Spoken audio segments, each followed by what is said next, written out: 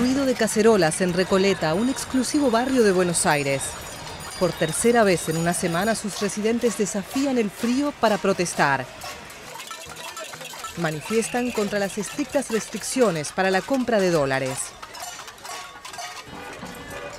El tema es la libertad de poder hacer lo que uno quiere con su dinero. Tienen que dar un país estable, con políticas serias, planificadas en serio. A fines de octubre del año pasado, el gobierno de Cristina Kirchner tomó drásticas medidas en el mercado cambiario que limita el acceso del público al dólar. Ahora las autoridades impositivas deben aprobar la compra de la moneda estadounidense. Todo para evitar la salida de divisas, algo que podría amenazar el pago de la deuda soberana. Con la inflación que podría rondar el 25% según cifras opositoras, no sorprende que muchos argentinos hayan optado por cambiar sus pesos a dólares para mantener el valor de sus ahorros. Para demostrar su confianza en la moneda nacional, la propia presidenta anunció que cambiaría sus ahorros personales en dólares a pesos. Que he decidido que voy a poner mi plazo fijo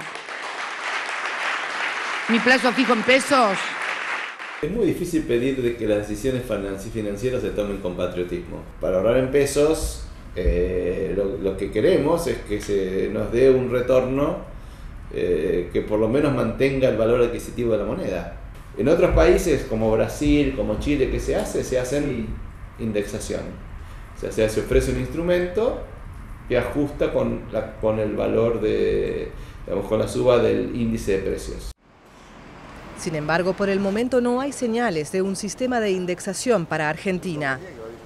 Pero con la actual situación económica es probable que las restricciones generen más descontento y más cacerolazos.